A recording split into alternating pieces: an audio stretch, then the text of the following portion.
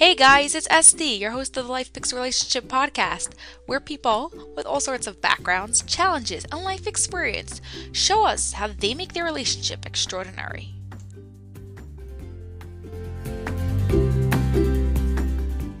Hey guys, I'm so glad you're here with me today because today our guest is someone I've been trying to get on for quite some time, and she does such so much great stuff and is so busy that it took some time to finally be able to get her.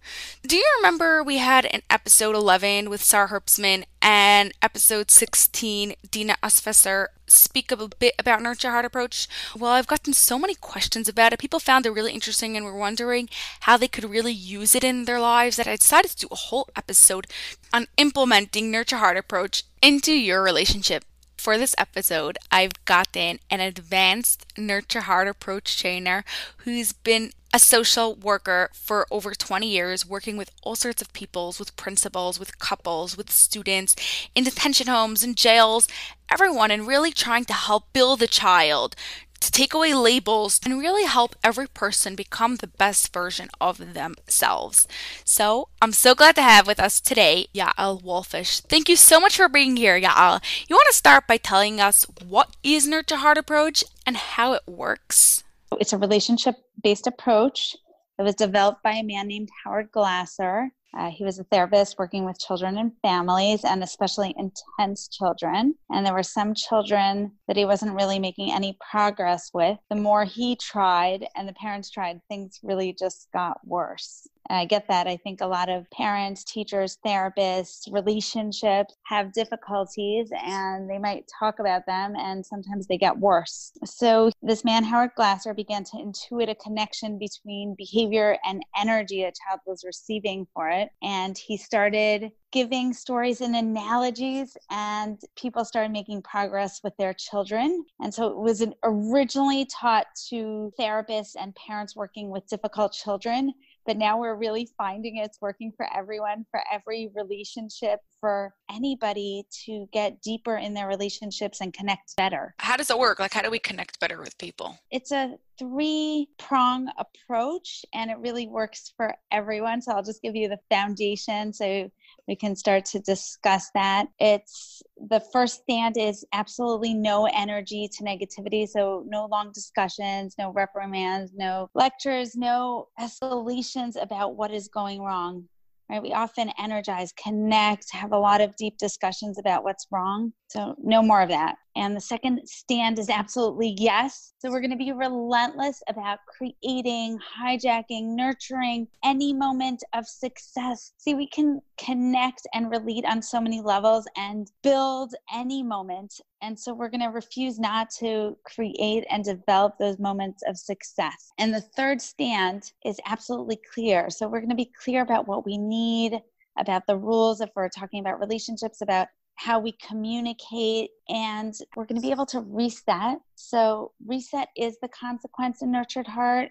It's really a way of setting limits and getting back on track. So, whether it's with a child or in a relationship, we can just reset and get back on track. It's a life gift, yeah. really. Yeah, so let's go through each of those stands. First one, no negative energy. What does that mean? How do we apply that? So, in relationships, we could get really frustrated or angry or about any kinds of things. Let's say time is an issue, or, um, you know, people are dependent on each other for chores in the house or whatever is going on. And often we might we might give a lot of connection relationship and energy and negativity we might discuss it for a long time you know people have long discussions at night about what's going wrong or with each other and what they need. So the idea is that we often use negative moments as teaching moments. Like we try to discuss things when things are going wrong. And that's when somebody is not open to making any change and connecting. The idea of the nurtured heart approach is absolutely yes, all the moments of success, that's when we can build them. You know, like let's say a man is not following through on his chores in the house and he takes out the garbage, and the wife says to him, Wow, thank you for taking out the garbage and for getting it out on time. It shows how responsible you are and how you care for our family. I really appreciate that. You really do that all the time. And I'm not noticing that, but today I'm thinking about how much that takes. And that's really recognized, and appreciated. And then we can build those moments of success. So when a wife tells a husband, you know, you're being really responsible and helpful, those moments grow and she can notice him at other times, you know, when he's at on time, you know, he gets home from the office and she can recognize those moments and that's how we build success and that's how our relationships connect because when we speak from the heart authentically and connect and build the moments of success they really grow. And it's amazing for me to see. I give a lot of workshops. I've been doing it for about four years. They're often regarding children and I'll have couples come in and they don't even like look like they're engaged. They're talking to each other. Their body language looks burnt out, depressed. There's no interaction. And I often do these six week workshops. By the end, by I'd say by week two or three, they're looking at each other, they're talking, they're sharing success, and their body language builds and it's open and I find it amazing. And people say to me, by the way, don't tell anyone, but like this isn't really affecting our parenting. This is affecting our relationship on a whole deeper level. And we're really working together to build success. It's an amazing, amazing method. Now, that means that we never, ever, ever tell, let's say, our husband to that he didn't take out the garbage? Um, no, so it's a three stand approach. We're going to be very clear with what we need. So, that third stand of clarity is a need for everyone to learn how to be clear about what they need, how to express themselves. And it's not that we're not expressing ourselves. We actually learn to be very clear, like, I really need, you know, to leave by seven o'clock, and we can be clear about that. But we're we're not having these long lectures, reprimands, discussions, long so how do we do it?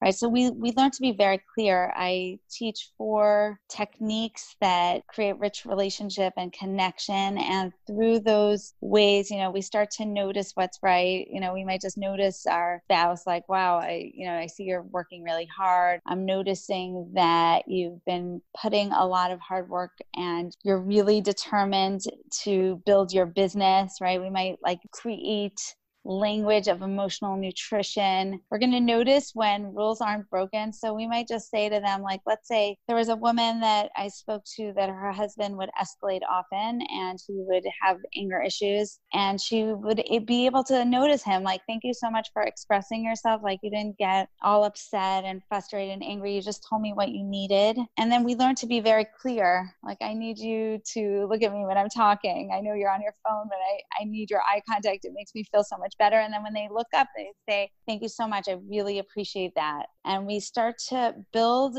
these techniques and these ways of connecting in a rich way. And also, another tool that we can develop. So, that wife that I was just talking about, where the husband would escalate, he would start to rage out of control. And she really didn't know what to do. And when she learned about the concept of resetting or getting back on track, she decided to use it with him. And she said, You know, would you mind if we reset? Like if you start to get a little bit upset, would you mind if I say to you, you know, can we just reset? And the first time he started to escalate, see, escalations don't start right away out of control. They just start a little by little. So she would notice that and she would know, you know, they were down a bad road and they didn't know how to get back. And that first day, she said to me, you know, I said, you know, can we reset?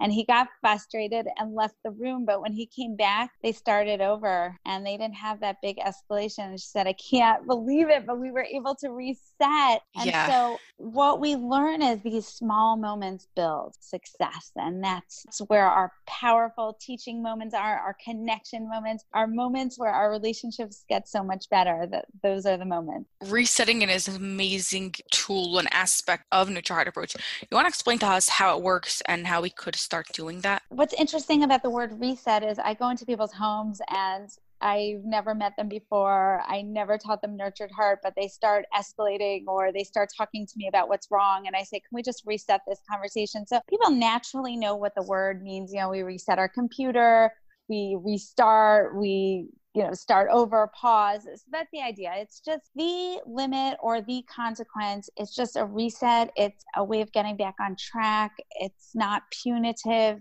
It's not negative. It's not destructive. We're not screaming at anyone. We're offering them this opportunity. Can we just get back on track? And so with a child we might let them know you know like you know, let's reset. And then they know, okay, let's get back to our respectful conversation. We're going to get back to ourselves.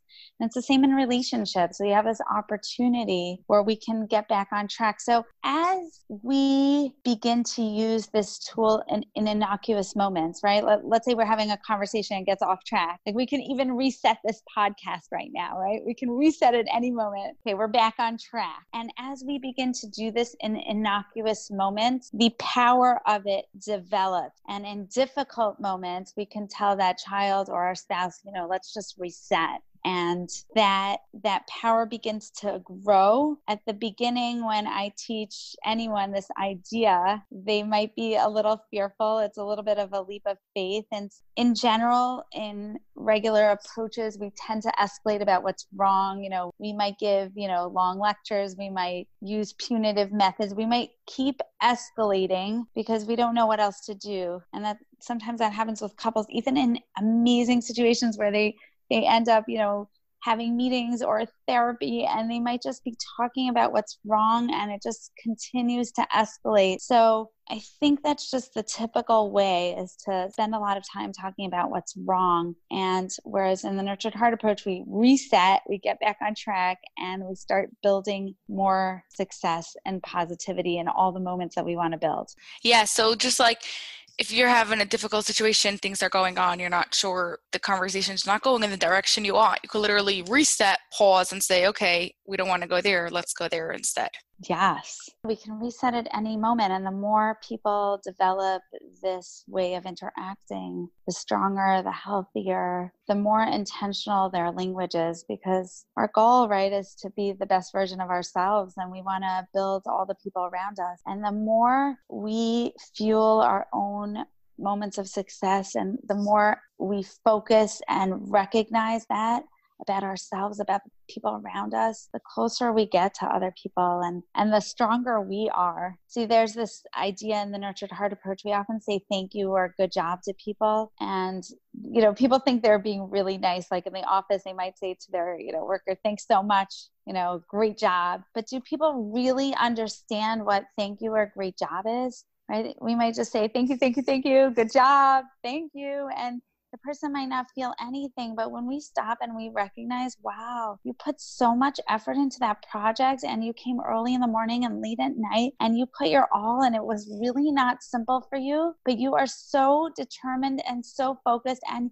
you care so much about our clients and you're really unstoppable. And I really appreciate that. Thank you for all that hard work, right? When we stop and we say that and we notice someone, we're boosting them and we're building this language of emotional nutrition that builds and we connect and we create deep relationships and people respond to that. Yeah. So speaking of compliments, Nurture Heart Approach has a really specific way of giving compliments. You want to tell us how to do that? Right. So we, we want to be very intentional about our lens. We're focusing on building success. Any moment is a moment to connect. We can take a snapshot of any moment and really celebrate that moment. Like here you are on this podcast talking to me and taking it all in and asking very intentional questions so that you can help people understand how to connect. You're unstoppable in building people and helping them use their strengths to share with others. We can take any moment and build that moment and create rich connections. So, the Nurtured Heart approach has powerful tools to create that success. So, really, we don't have to wait for anything so amazing to happen to recognize success. Success could be any moment. Success could be somebody just, you know, looking at me, like, thanks for looking at me and paying attention. I really appreciate that. And so we can recognize any moment a, a child might be just sitting and playing toys, and we can say to them, Wow, I see that you are building a really high tower and you separated all the blocks and you're building really high, right? So they didn't have to be anything so amazing. We could just notice them. Everybody wants to be seen and noticed and recognized. So just just being very specific specific about noticing them. That's like one technique of the nurtured heart approach. Like another would be building moments of greatness where we label the moment and we create a positive quality. We discuss, you know, how whatever we want to see in the people around us, whether we want them to be focused, whether we we want to see their tenacity or strength or whatever we want to see, we're going to start to notice and recognize and be connected to that. Yeah, so let's just explain that. Like, let's say you want your husband to be more respectful to you. Let's say, hopefully, that's not the case, but if you have that, then what you're going to do is you're going to try to find those little tiny moments in the everyday life where he, anyways, is respectful and just compliment him on that and label it and tell him that shows respect yeah. right yeah and i love what you brought up is tiny little moments of success we talk about baby steps right? So when a baby starts walking right we we cheer them on we recognize them and what about when they fall down? We don't make a big deal. We wait for them to get back up and we notice them and we cheer and we say hooray look at you you're walking. Wow. And we let them be. And that's the idea. I think it's you said about small steps of success so we're going to look at success as baby steps, right? That husband that we want him to be more respectful. Like, you know, the day that he's home on time anyway because something really exciting is happening, he's going to that sporting event or he has a dinner out, and we say, Thank you so much for being on time. That's very respectful. I really appreciate that. It shows how much you care about our relationship. And we build that moment and we build the success. As long as we're being authentic and truthful and from our heart, they're gonna they're gonna get that. And as long as we're not trying to say, you know, something that they're not doing, but for noticing that baby success of the moment, we can build that moment. Yeah. Now, let's say he's not being healthy, you know, I'm just talking, you know, just thinking of a spousal situation like the husband's overweight, he's not being healthy, and you know, we cut up some fruit and it's his favorite fruit and he's eating and we can recognize that. Like, look at you really taking care of your health. Like you're eating fruit and you're being conscientious. And those moments build. And I find that even when couples joke around with each other and they do this, they start feeling the success. They can like smile and laugh about it, but they, it really builds. Yeah, yeah, yeah, it does. Like it's some method that my parents been using the house probably 10 years more and my siblings will tell my parents like hey thank you for ordering that. That shows you really cared about us or you listen to my whole conversation. That shows you were great listening skills. And it's a joke. They're just making fun of her for all the times that she did it to them. By the end of the day that's what people want. They want the connection that you really saw you noticed those little things in them and it makes a massive difference now, don't tell us why we say we don't say you are responsible, but that shows responsibility? Right. So the idea is that we're connecting clear evidence with the quality of greatness. So the more specific we are and we show a child or a spouse or anyone in our lives like what they're doing and what that shows about them, the more it can connect, like the more teeth it has, the more strength it has for a person to absorb that. You see, especially in intense situations, if we just say to a child, Whoa, that was really smart, or to a spouse, like, thanks so much, that was like brilliant, or that was helpful, but we don't we don't give them any evidence of their success, like they might just laugh off what we say. But when we're really clear and specific, it often is they're able to internalize it. And if not at that moment, it might take time. In a really intense situation, somebody might not take a compliment, they might not take that recognition. But I actually find it's interesting because I go to the ju- juvenile detention centers, I go to the psychiatric hospitals. I work with like a variety, a, a range of ages and stages. And like I am kind of relentless in doing this with anybody. I'll tell you a story. I met this girl in a detention center. She broke the worker's nose. She was living in a shelter and she broke the worker's nose in the shelter. Probably something happened. She escalated and you know the worker's nose got broken and she was in the detention center because of that because she had nowhere to live and the judge put her there and she had really no affect looked a little depressed. You know she engaged respectfully but very minimally. And then i said to her i said like what do you want to be one day when you're not detention center? And she said i want to be a nurse. And i said oh wow. Do you know what that says about you? You want to be a nurse that shows that you care and you're empathic and you want to build others. And she looked at me and she said i i am. I am caring and from that moment on, her face lit up. She was engaging with me. She was smiling she really took that in and it was amazing. Like here she was she broke a worker's nose and she's recognizing that she wants to be a nurse. She cares about other people. She's empathic. So i find that i will try it in any situation but definitely with intense situations in intense relationships. Yeah when i go to the detention center i'm not in that relationship. I'm coming from the outside. But with a spouse that's really intense or any kind of relationship we, we kind of have to be unstoppable in our desire to build that greatness, to see their greatness, to recognize it. And I find that it works. It really does. Yeah, it really does.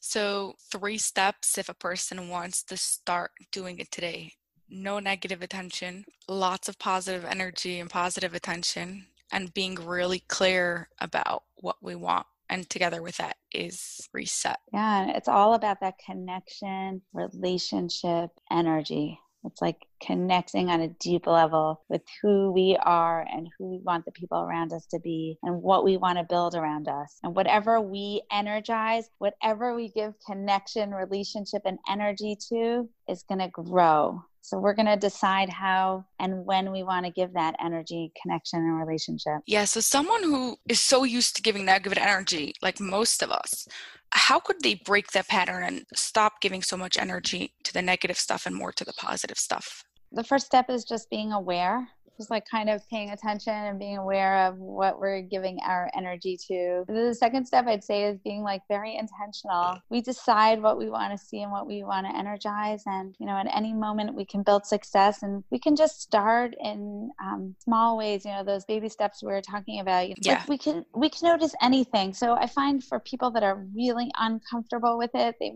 they might feel more comfortable texting or a note or something where they feel is, you know, a little less scary. They might feel more comfortable trying it out with a little kid in their life. Like there's some people that will say, you know, I had a niece or nephew come over and I was able to recognize them and they loved it. It's also noticing our own baby steps. Let's say we do that and we write a note or we recognize a little child, right? Or we we go to the supermarket and we say, "Wow, I really appreciate you bagging up all my stuff. I'm sure it's really not easy to work right now during COVID and you're doing you're doing this and I appreciate that.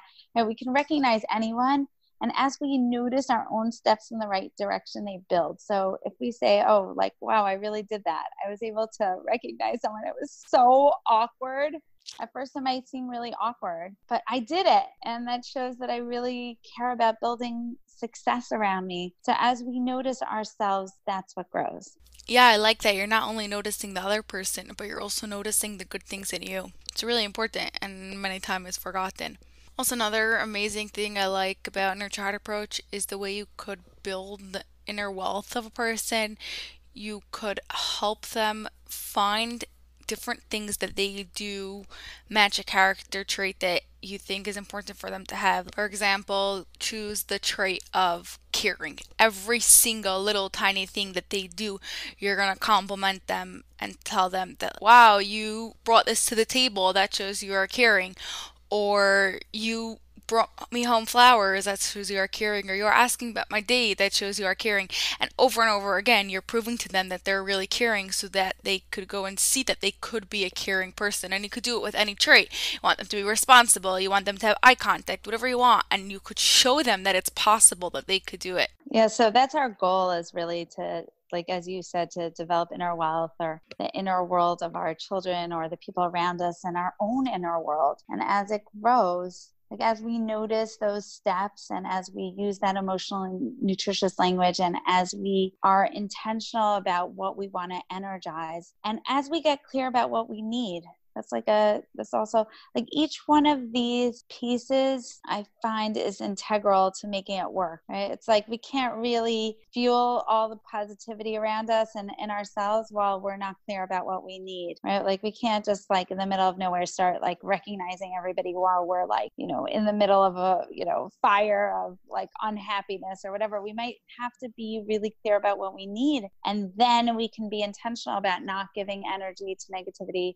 and totally energizing every moment of success. And it, just because we're clear doesn't mean we get everything that we want right away, but that clarity will allow us to speak clearly to say what we need, and then to energize every step in the right direction. I feel like that's so life changing, at least for me, it was. And for the people that I work with, it's unreal. You know, it's easy in this world to notice everything wrong around us to be like kind of depressed from everything to to like energize our own sense of insecurity anxiety depression it's so easy to do that this was a success story. This woman told me that she's um, an obsessive compulsive eater and her daughter is two. She's like getting overweight her daughter and she's only 10 years old. And the mom as she's telling me this i I say to her, wait, don't you work out every day? And she said, yeah. I said, like, you look slim and you look like you take care of yourself. And she said, I do, but you know, I'm, I'm an overeater. I've been in, you know, Overeaters Anonymous for years. And if I go off track, I can't stop myself. I eat bags and bags of cookies and I don't even know what to do. And my daughter's doing the same thing. So anyway, I say to her, you know, why don't you start noticing all your success? Like you're committed to your health, you eat healthy, you exercise every day. Why you start focusing on those labels and see if that helps you? Anyway, a few weeks later, she says to me, I broke program. And I said, What, what, what happened? and she said i i went off track i said what did you eat she said a matzah, like one board of matzah. And I said, What else? And she said, Nothing else. And I said to her, What does that say about you? That's really incredible. Like you stepped out of program and you only ate one matzah and nothing else. And she said, You know, I think I can reset. I was able to reset. And I said, Yeah, because you're you're determined and you have tenacity and you have self-care and you've been building yourself. And so I said to her, you know what? Like, maybe now you can start recognizing your daughter too for her moments of success when she's able to reset herself, when she is eating healthy, when you're going for a walk together. And maybe we can just, you know, stop these labels of, you know, obsessive compulsive eating and, you know, this daughter who's like set up for this. Maybe we can stop that and start energizing her for all her creativity and for her energy and for expressing herself. And I'm really passionate about this. I feel like we can do so much in this world by noticing our own strengths and success and building that. It's true. We have to focus on where we want, where we want to go. What do we want out of it, right? Well, thank you so much was great talking to you. Thanks for this opportunity. I really appreciate it. And I appreciated all your questions that were very specific. And it was amazing to speak to someone who's been raised with this idea and that it's been part of your household. So I think that was like a whole new level. Hearing the experience on your end, kind of like living with it. Yeah. Very powerful. well, that was a nurture heart approach compliment. So thanks for that.